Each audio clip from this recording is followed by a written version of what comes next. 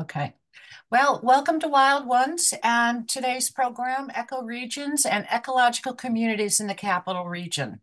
Um, here at Capital Region, New York, our chapter's mission is to promote increased use of native plantings that create living landscapes through grassroots efforts. Uh, we consist of an amazing and diverse group of people all sharing a common passion and goal. We invite you to join us in our efforts to network and educate eradicate unwelcome invasive species, and incorporate native plants into our daily lives. I hope you consider becoming a member of our amazing team. And I'm sure Christy will be putting a link to our website in the chat.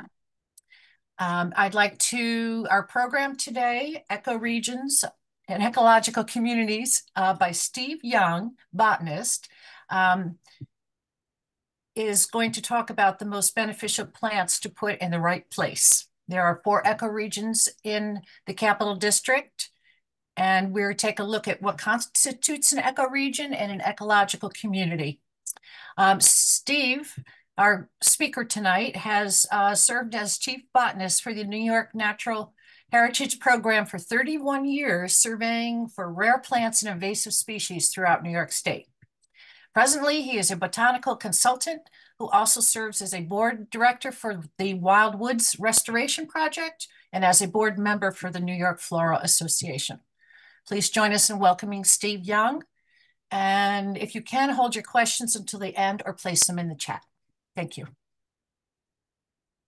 Hi, everybody. Can you hear me okay? All right, good. Hi, uh, welcome everyone. Uh, Today we're going to talk about the ecoregions and ecological communities in the capital region. And let's see if I can do this here. Okay. Um, and the goals of this program today are first to know why it's important to know about ecoregions, especially if you're interested in native plants, plantings. Second, what ecoregions we have here and what characterizes them and then at a smaller scale, the what are ecological or natural communities and the characteristics that they have, and look, also look at some of the plant lists that have been developed for different ones.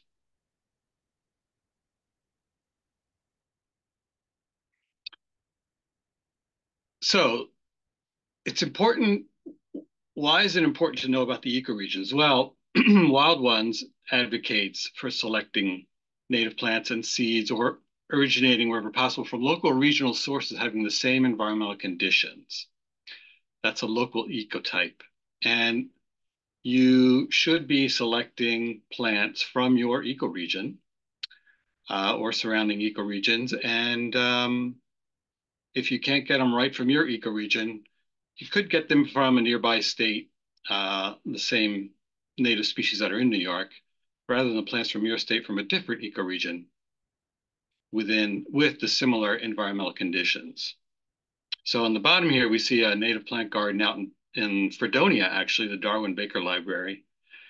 A nice little planting here outside the library. And over on the right there are the native plants that they selected from their ecoregion and are growing in greenhouses there which they use for that little garden.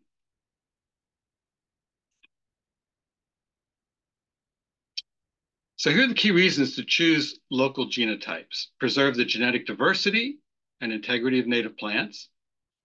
You want to preserve that genetic diversity within the species. And plants do vary genetically in their adaptation to environmental conditions. And this, this uh, results in various genotypes for the species over its range. So some plants are specialists.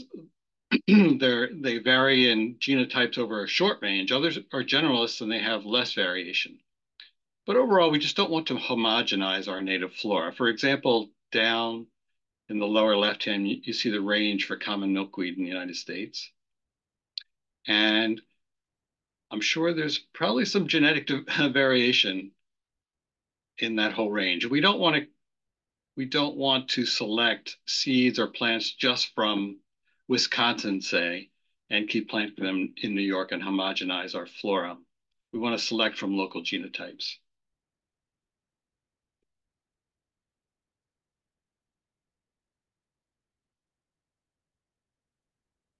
Sorry. We also want to help support other species, pollinators, birds, mammals, wildlife that are co-evolved with the lo local genotype plants and depend upon them for food, shelter, and a well-functioning habitat. For example, these tricolored bumblebees on common Joe Pye weed. And the third reason is to ensure greater success of your landscaping efforts. You want to match your plantings with your environmental conditions with the plant species in the natural, naturally occurring habitat. And that uh, helps your plants better thrive. And there are also complex interactions between species within habitats. So consider growing more than one species from the same habitat. For example, down below, we have some species, again in buffalo, that were selected from local wetland areas and here they are growing in a special uh, wetland area in one of the greenhouses.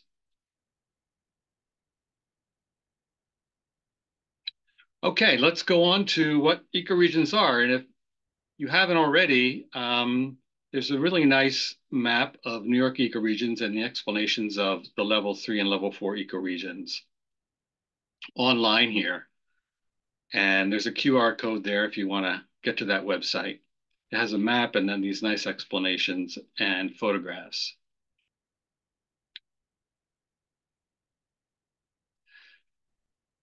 So what is an ecoregion? Well, they are regions that are geographically, geographically distinct. They have similar environmental and physical conditions, and they have similar assemblages of, of ecological communities, and we'll go through all these. So we did see that map of level three and four, but there are level one and two ecoregions also. If you go to this website called bplant.org, there's a nice interactive part of the website where you can look at different ecoregions and click on them. Uh, so here are the level one ecoregions. And in New York, we have eastern temperate forests and northern forests, the lighter blue. But those ecoregions are very large. So they encompass a lot of different plants and a lot of different genetic diversity. Level two ecoregions. Here in uh, the mountains, the highlands of New York, you have the Atlantic Highlands, number one. And then over on the right, most of the, the lighter green there is mixed wood plains, and that extends all the way from Canada over to Minnesota.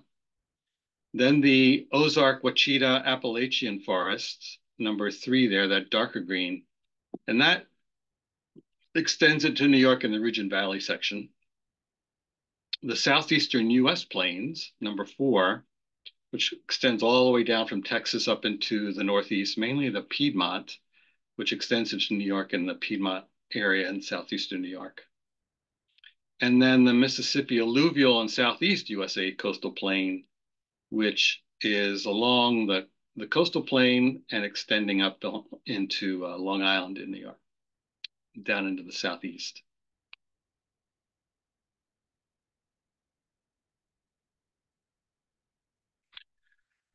We'll concentrate on level three and level four ecoregions, and here are the level three ecoregions across the United States. There's a lot of them. New York has a, a lot of ecoregions compared to some states. And you can see how they extend into other areas of the country.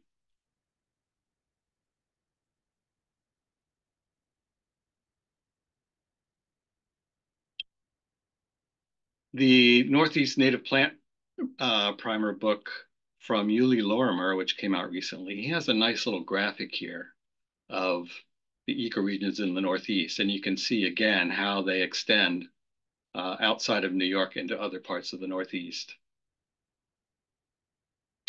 And he also states that using ecoregion uh, to, to determine what is considered native is a relatively new lens through which we can view the selection of native plants. These ecoregions, the EPA ecoregions, uh, were, were um, formalized in the 2010s. But in New York, we have been looking at zones and ecoregions for a fairly long time. This is the first one I could come up with. It was in 1958. the forestry regions, the subregions of New York State. And they were divided into, again, regions and subregions. You can see some of them down there, named the Adirondacks, Tug Hill, St. Lawrence, Champlain. And then um, I didn't put them all on there, but you can see, you know, for a very long time, we've been dividing New York into regions. And a lot of places, a lot of organizations and nurseries, uh, seed organizations are also using these ecoregions in their work. So you can see Wild Woods Restoration Project there with that orange arrow. They say we work in ecoregions 64, 67, 58, and 59. And a lot of people talk about ecoregions by their number. So we'll look at the numbers in the in the capital district the fernery there in uh, in uh, Hartwick, uh, north of Hartwick, New York. They uh, run by Connie Tedesco. She says she includes plants from she calls them ecozones in the northern Allegheny Plateau and the Mohawk Valley section of the Eastern Great Lakes lowlands.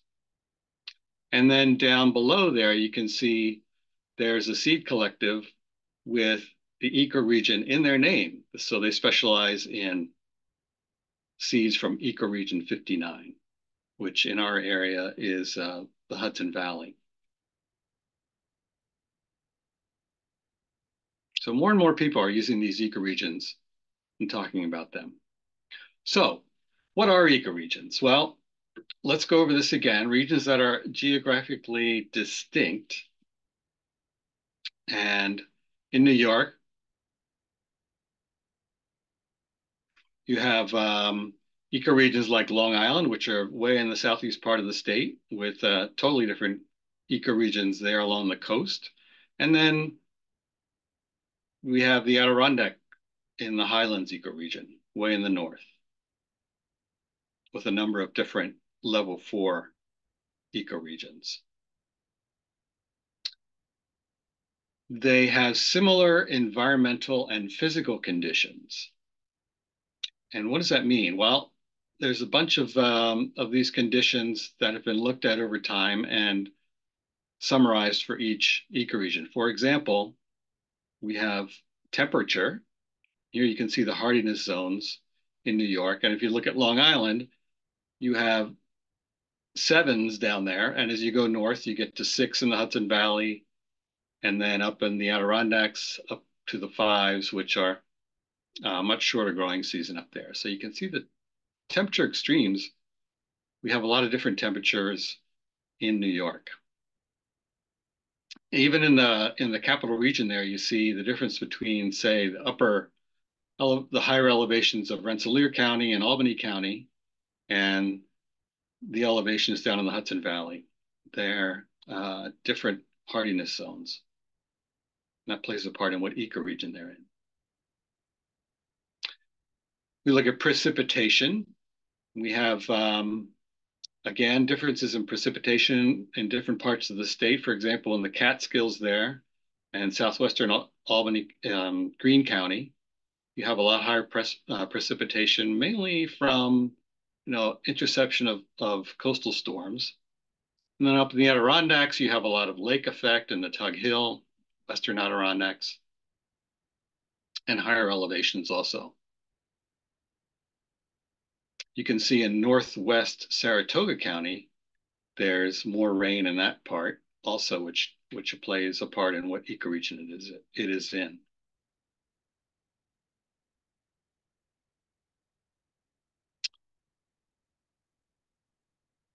Geology is also a big factor in what ecoregion you're in. Some ecoregions have uh, very different bedrock than others. Some have very complicated bedrock. Some have uh, more homogeneous bedrock. So you can see down here um, in the Catskills and, and Allegheny Plateau, there's two different types of bedrock down there. If you get over to the Taconics, you have a lot of different bedrock. Up in the Adirondacks, a lot of different types of bedrock.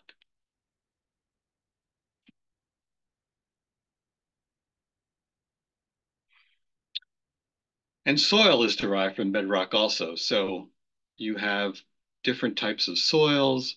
Some have very distinct horizons. Some of them don't. In the in the lower left, you you have uh, a soil with not very distinct horizons. In the upper right, you have ones that have very distinct horizons, which are more high elevation soils and with higher rain.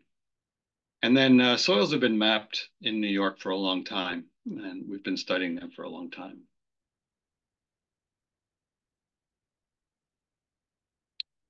And then land use also is important in the ecoregion. You have urban areas in the red, see down New York City, Long Island, highly urbanized. Uh, the yellow is agriculture. So in the Mohawk Valley, you have more agriculture than you do, say, in the, the, the uh, Rensselaer Plateau there on the right, which is more forested. And um, you can see the urban areas of, of Albany and uh, Saratoga, Glens Falls, mostly in the Hudson Valley.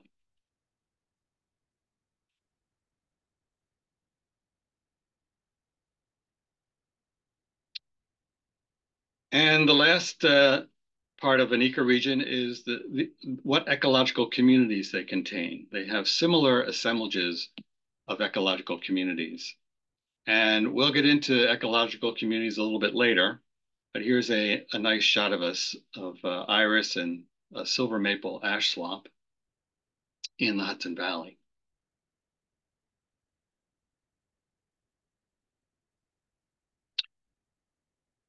So we'll focus on the ecoregions in the capital district. You, here you see all of the level three and level four ecoregions in New York, and we'll focus on the ones in that rectangle there.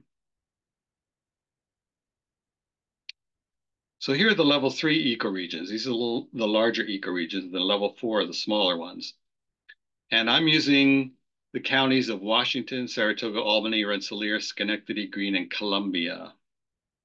Uh, you could extend that. Some people extend the capital region into those other three counties, Warren, Montgomery, and Schoharie but they don't make that much difference in what ecoregion they are in.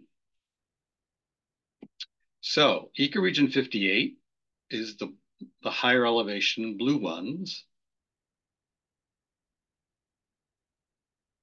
59 is the northeastern coastal zone, the, which contains the Hudson Valley. This extends south, actually, this whole uh, ecoregion ex extends south to uh, to uh, New York City area. And uh, then that's in the green in the middle there. The Northern Allegheny Plateau in the, gray north of the Catskills there. And the Eastern Great Lakes lowlands, the tan there west of Schenectady. So what we'll do is we'll go over the characteristics of each one of them, look at the location, the climate, topography, geology, vegetation, and cultural characteristic of, of each one. Also, if you're trying to decide what ecoregion you're in, for example, here, if you're west of Schenectady, are you in the Mohawk Valley or are you, you, are you in the Hudson Valley? There's a line there between those two. So a good way to figure that out, if you're really not sure, if you're on one of those lines, you can look at the ecoregional locator that's available at bplant.org in their ecoregion section. And here you can put in your zip code and then you can click on the map. Here I clicked on an area uh, north of, of Rotterdam Junction or east of Rotterdam Junction there along the Mohawk. And it'll give you your ecoregions there. One, two, three, and four. So it goes to, all the way from Eastern Temperate Forest down to Mohawk Valley. Very helpful. And it's kind of interesting to go back and forth between the two to see where, where the line actually is. Um, that down here, that uh, at the lower right, where you had that industrial park west of Scotia, that's sort of the separation point between the Hudson Valley and the Mohawk Valley.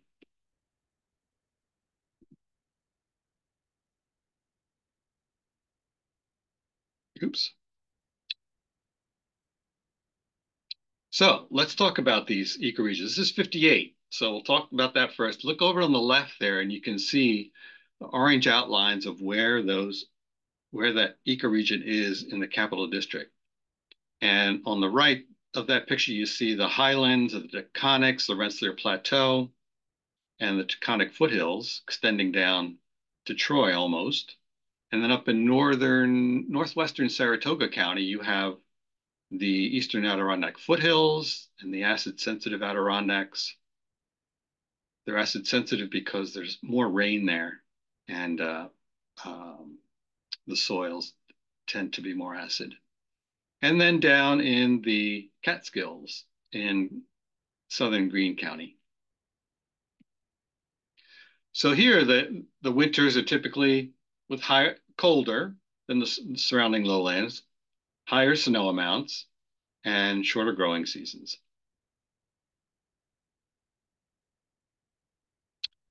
Uh, in the topography, you have high hills, mountains, and within there you have uh, high gradient streams, fast flowing streams, lots of lakes, lots of wetlands, lots of bogs. You can see a bog there on the lower right, more of a shrub bog.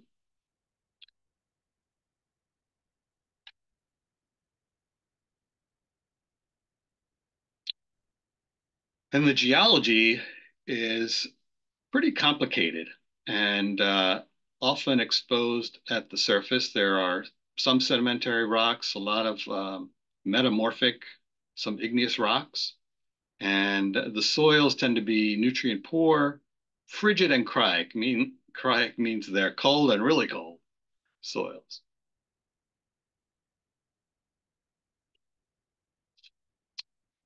If we look at the vegetation, there's extensive forest cover. Uh, as you can see here in this map of, this is a Google map of uh, the Rensselaer Plateau, east of Berlin, and there's Cherry Plain State Park there. You can see it's very, uh, very forested there. Not much agriculture. And there's uh, hardwood forests uh, come up from in the lowlands from the south and coniferous forests from the north at the higher elevations.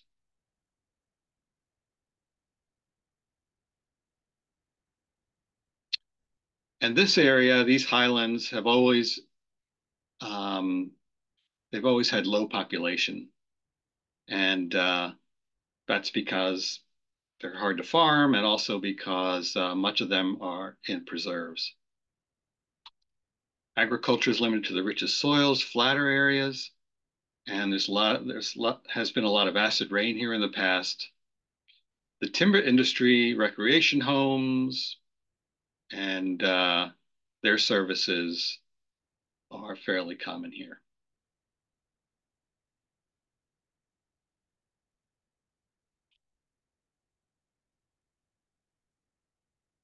Sorry, the way this, um, it always seems to always go two ahead when I hit the go ahead button.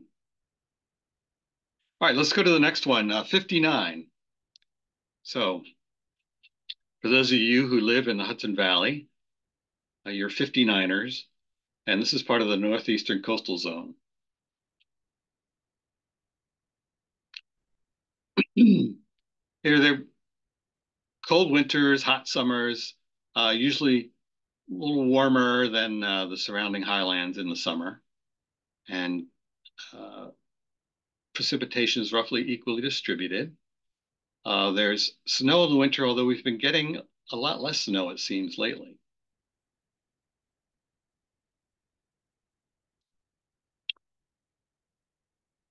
rolling topography here interspersed with tall hills, and that's because it's a remnant of Glacial Lake Albany. And uh, there's the influence of the Hudson and the Mohawk rivers with uh, uh, flatter areas here than the surrounding areas. There you can see um, a barge on the Mohawk River with some marsh um, plants there in one of the marshes, the tidal marshes. And up on the hill there is Olana.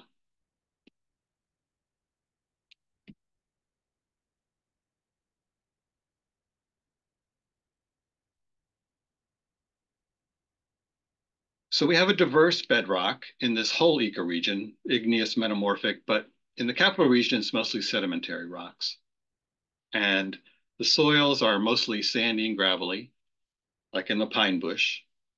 And uh, there's alluvium also from the rivers and stream deposits, especially along the Hudson.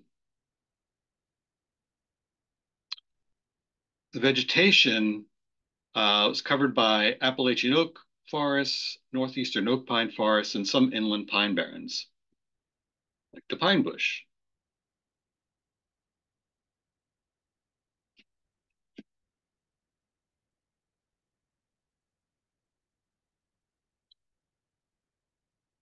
And here you can see a, Google map again of the Albany area, just north of Albany. Um, there's lots of agriculture, lots of suburbs, urban areas.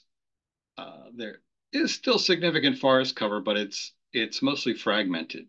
There's small pieces of of forest cover, woodlands that are interspersed with farms, urbanization, and then a lot of roads too. Unlike the Rensselaer Plateau, with, which is mostly forested.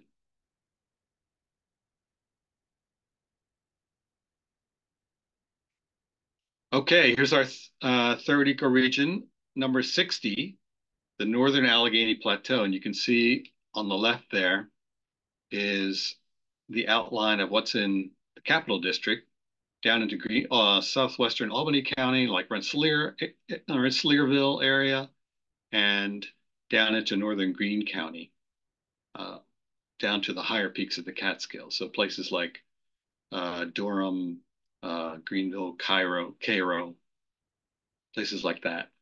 So here we have hot summers, cold winters, and, and moderate snowfall, a little bit higher than the Hudson Valley just because of the, um, the higher elevations. So we have the glaciated low Allegheny Plateau, and also the, the Catskill transition zone. 60C. 60A is the northern part there. And then 60C, which is a little bit higher, transition between the lower Allegheny Plateau and the higher Catskill transition. So this starts in uh, southwestern Albany County, where the Helderberg Escarpment is, up onto the Helderbergs.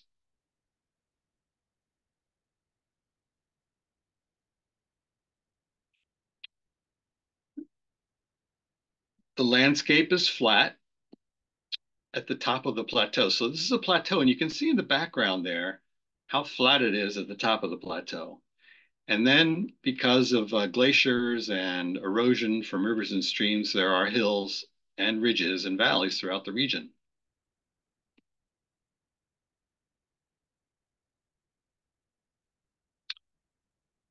And this is, has a more homogeneous sedimentary rock over the whole area. Uh, and it's Devonian, mostly Devonian sandstones and some erodible shales and siltstone too. Here you can see some shales and siltstones in this creek being eroded away as we speak.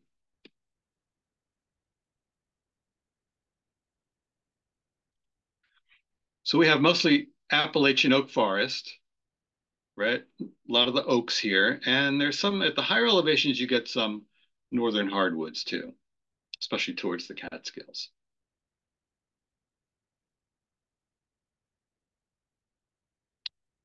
And here we have agriculture is, is sort of intermixed with woodlands. We have the forest here is fragmented by agriculture. There, but there are some larger tracts of forest. Uh, we have some nice state forests. Thacher Park is there. Uh, some land trust preserves, and then where you have the steeper slopes, you have um, woodlands on private land. So here's the Allegheny Plateau, and you can see the Catskills in the background there.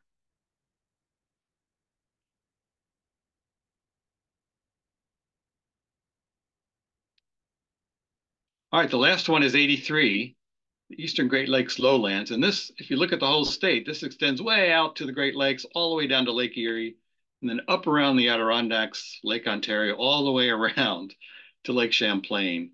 So it includes a little bit of the, of the Champlain lowlands up there in Washington County. And the uh, Mohawk Valley there in the just in the eastern part of the lowlands with Schenectady County, um, western Albany County, places like Altamont, and up into Saratoga County. So within the whole ecoregion, you have a moderating effect. The climate is moderated from the lakes, uh, and there's also increased precipitation from lake effect. But that lake effect is less evident here on the eastern side, at the eastern extent, because um, oftentimes the lake effect doesn't get all the way down. Sometimes it gets all the way down to this area, but not always. There's the Mohawk River with some really nice ice jams.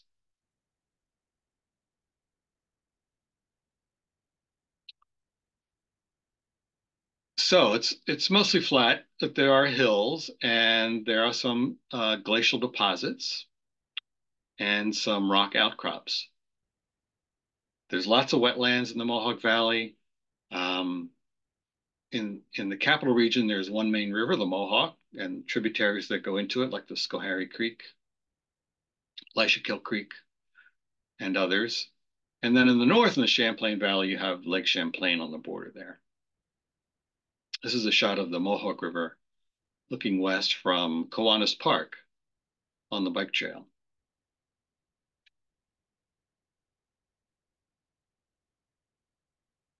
So again, we have mainly sedimentary rocks, limestone shales and sand sandstones, similar to the Allegheny Plateau to the south. and uh, not as more erodible than the than the harder rocks in the Adirondacks to the north. This is the Christman Preserve out in western Schenectady County. So the forests uh, were originally a sort of a combo of um, coniferous and hardwood forests, but like uh, many forests, their composition has changed over time. It's true for most of the forests here in the Capital District by invasive species, things like killing off the ash, uh, hemlocks, um, invasive insects, and of course, deer browse.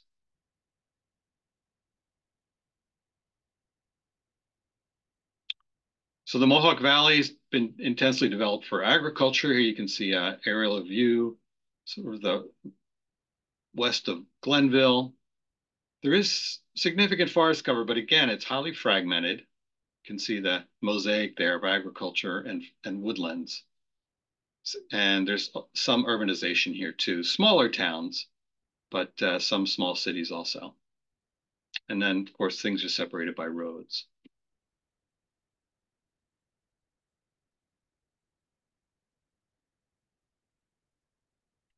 All right, so that's the description of the ecoregions in our area.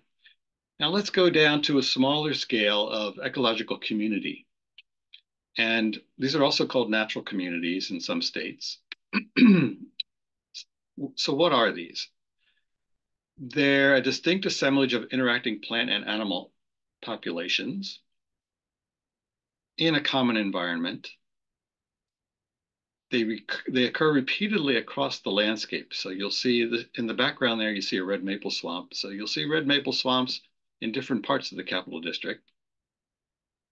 And these communities often integrate with each other. So uh, next to this red maple swamp, there is a shrub swamp, and that could integrate into the red maple swamp.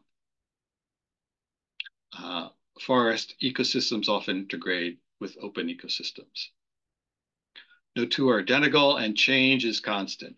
So if you had a red maple swamp here one year, you uh, the beaver might come in and make it into a lake. So they're always changing.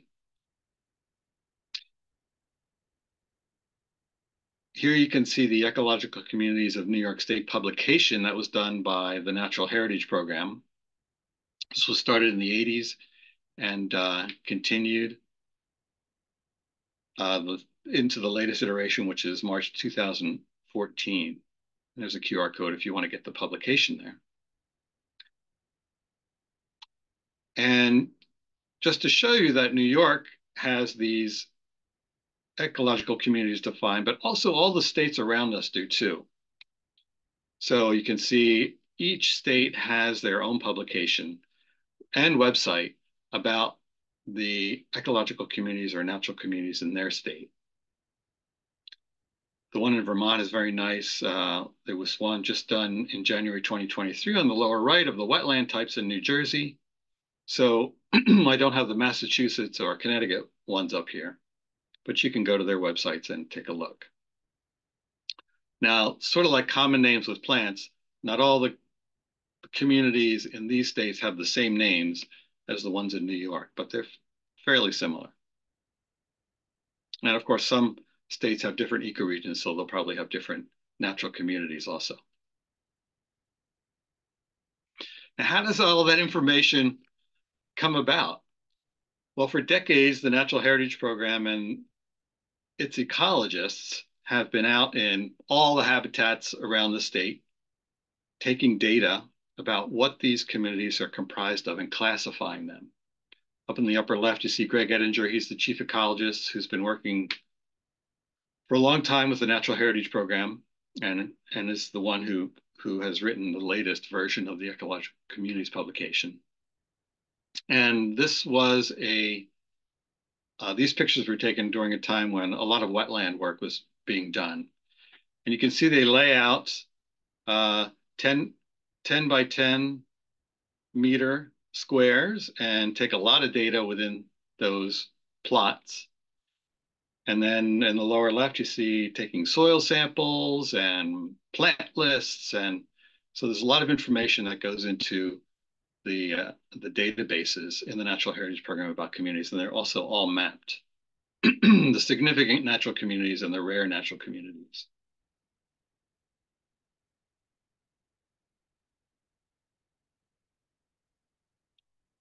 And then they're classified.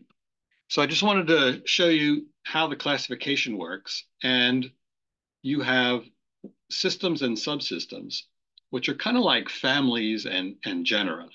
So you can see the, the systems, the, found, the, the largest uh, classification, most general. These are the systems. Over on the left are sort of the scientific names, and on the right are the common names. So you have marine systems, the ocean, uh, then you have tidal estuarine, tidal ecosystems, which are freshwater or um, saltwater ecosystems or brackish, as long as there's a tide. So tides come all the way up the Hudson River. So we have freshwater tidal systems. Rivers and streams, lakes and ponds. Those are the riverine and lacustrine. Palustrine means wetlands. So all the different types of wetlands around the state. And then on the lower right are the uplands or terrestrial, uh, uh, terrestrial systems. And then there are subterranean systems too, which are down below this slide, like caves and the animals, usually just the animals that live in the caves.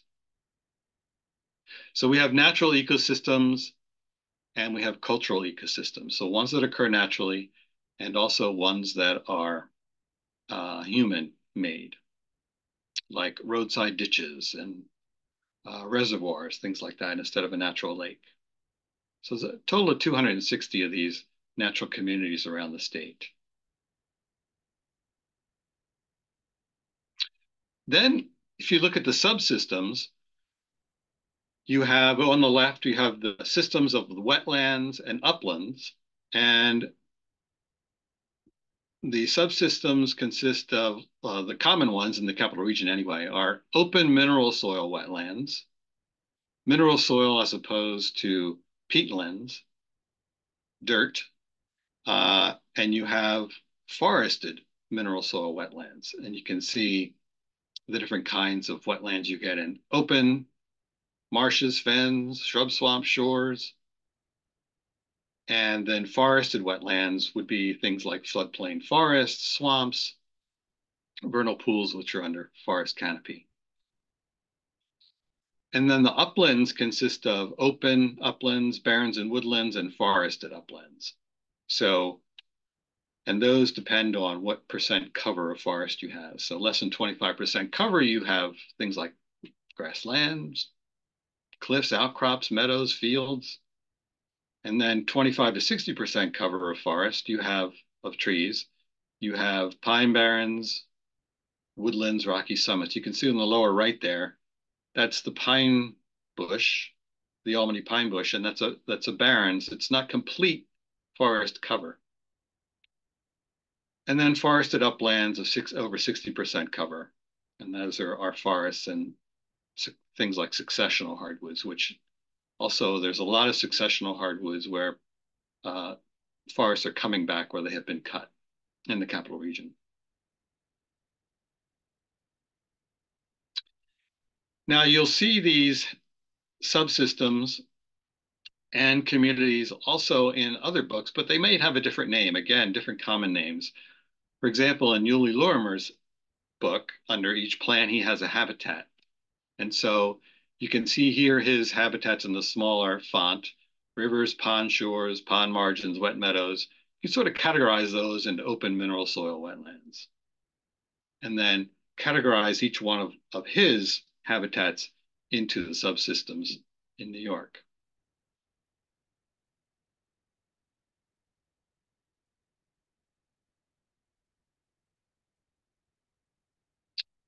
And then we have other categories too, which people who are res doing restoration or planting natives want to select plants based on these. And these are, again, from um, Darke and Tallamy's book or Lorimer's book. And these are non-ecological community-based sort of uh, ones that are other categories like water regime, whether they're evergreen or deciduous, the colors, the habit, the ecology, what they do for wildlife, what they provide for wildlife, if they're useful for consumption or the people like the fragrance.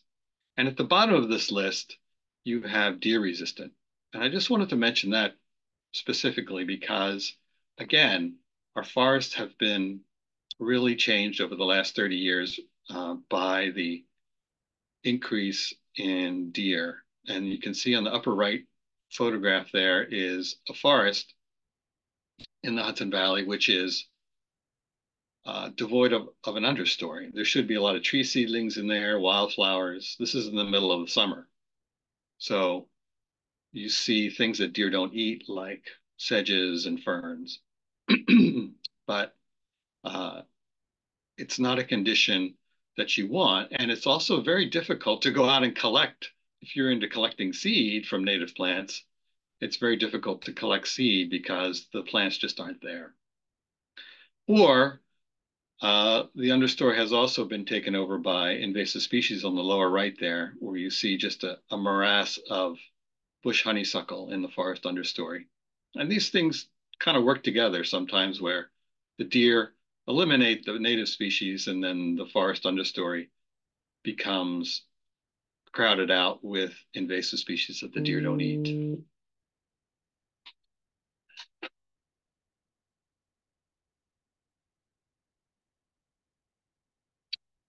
Also, these uh, communities are on the Natural Heritage website under the Natural Heritage Conservation Guide. So if you Google Nat New York Natural Heritage Conservation Guides, you get to these, and they're for animals, communities, plants, and so if you click on the communities,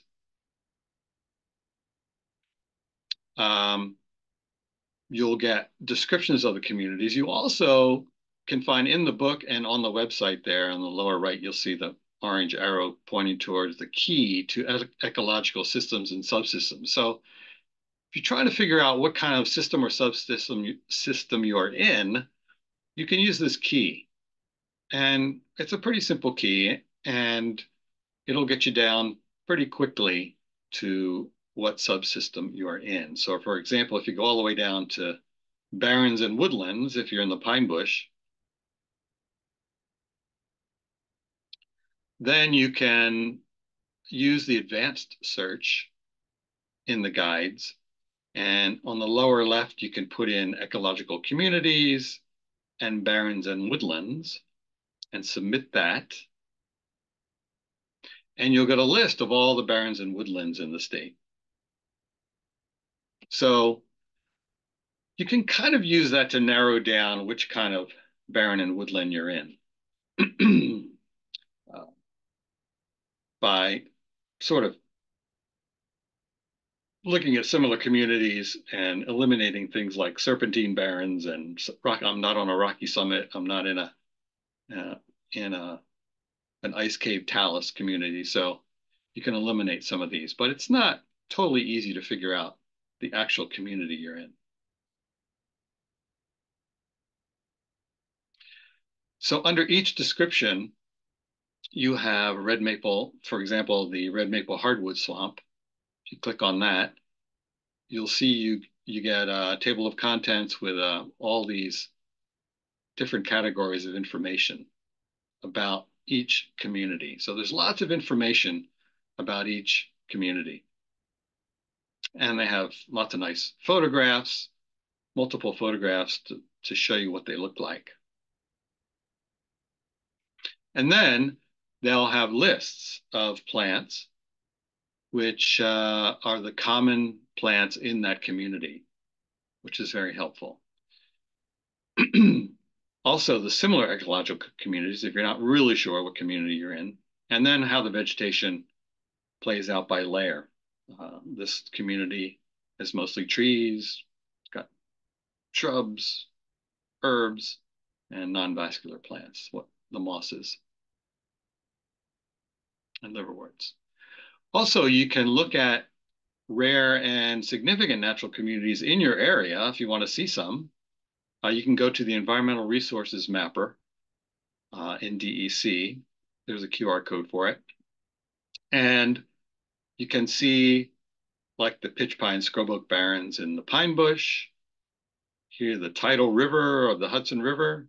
Over here in the Rensselaer Plateau, very large hemlock northern hardwood forests. And then along the Taconic Ridge, you have extensive beech maple mesic forests.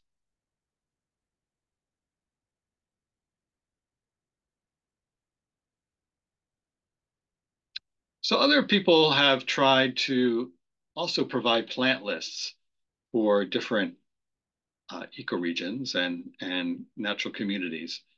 So for example, the Native Plant Greenbelt Native Plant Center on Staten Island, if you go to their website, you'll see uh, they have done some plant lists by um, subsystem.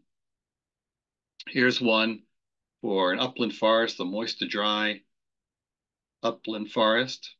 They have trees, shrubs. I can't scroll down the whole thing, but they'll have all the different kinds of plants there. So that's interesting to look at. There are there's a group of people here in the Capital District, which is will will be writing a, a similar uh, plant list for different ecoregions and um, and uh, subsystems, systems and subsystems for the capital district too. Then uh, the National Wildlife Federation has something called the Keystone Native Plants, which I think was by, done by Doug Tallamy. Now they do it by Eastern Temperate Forest, which is ecoregion eight within the temperate forest. So that's that huge uh, uh, one, uh, ecoregion one, or level one. And you can see they put in some plants there at the bottom, which are keystone species, which host plants and you know insects depend on. And of course, a lot of these are native to New York, and some of them aren't because it's in such a large area. So you always have to look at these lists and decide, are these lists good? Do they contain native plants to New York? And you really have to, to really examine these lists closely.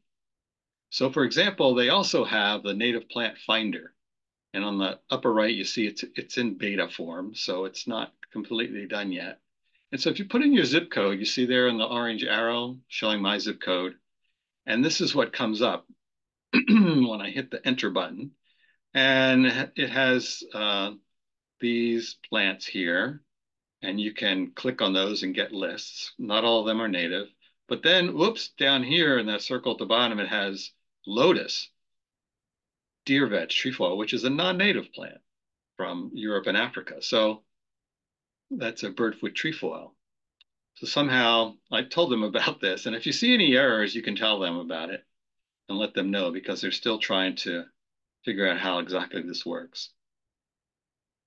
Again, always examine carefully your plant lists. And if you really want to make sure uh, in those plant lists what's native to New York, you can go to the New York Flora Atlas. And that will help you decide what's native and what isn't. And you can click on your county, that map in the middle, you can click on the county. This is from the New York Flora Association. And it'll give you a list that you can download. You can see up in the upper right, it says download search results. It'll give you a list of plants in your county. And there's a column there for native. So you can click on that column and it'll sort them by native and non-native. Give you the family, the common name, and also uh, if it has a photo here. And they have lots of photos of lots of different species. So this is really helpful in knowing what's native. And then if you click on a species like northern wood sorrel, Oxalis montana, it'll give you a habitat and also a map, a county map of where specimens are uh, have been seen or collected from around the state. So, for example, this one has a habitat of cool northern forests. Uh, it's often the dominant herb in uh, northern forests. So, for example, if you look at Rensselaer County and Greene County, it's in those counties, but probably in the higher elevations, probably in the in 58 ecoregion, near the Catskills and up on the Rensselaer Plateau, versus down in the Hudson Valley.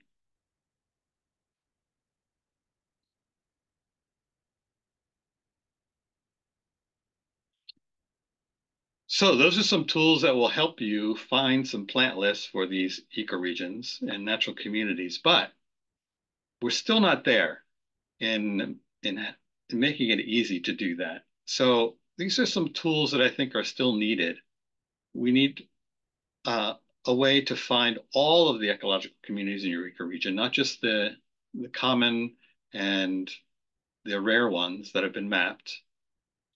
We want to know, um, we want to know how, how to know what community you're in by keying or entering dominant plants. So there's a key to the subsection, there's no key yet to the actual communities themselves. It would be nice to have a list of plants by level four ecoregion. B plant does it by level three. Uh, so you can imagine there's a lot of plants because level three, for example, the Hudson Valley is part of level, uh, part of 58, which goes all the way up to um, Canada. So to Nova Scotia, I believe. So there'll be lots of different plants there and you, you have to sort of narrow those down by looking at the, the plant atlas. It would be nice if the plant atlas did list the community and subsystem that those plants were in.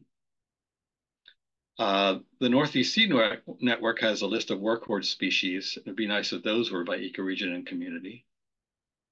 So let me know uh, if you know of any other needs that you would like to have for finding out what plants are in these ecoregions. There's also the list of nurseries. It'd be nice to have that offer ecotype seeds or plants. Here you see um, on the Wild, Wild Ones website, they have a map of nurseries, native plant nurseries in the capital region. So it's always good if you're going to these nurseries to ask them where those plants are from, if they know what ecoregion they're from, uh, what's the provenance? Are these were these seeds collected in the capital district? Are they from other nurseries outside of New York or way outside the ecoregion?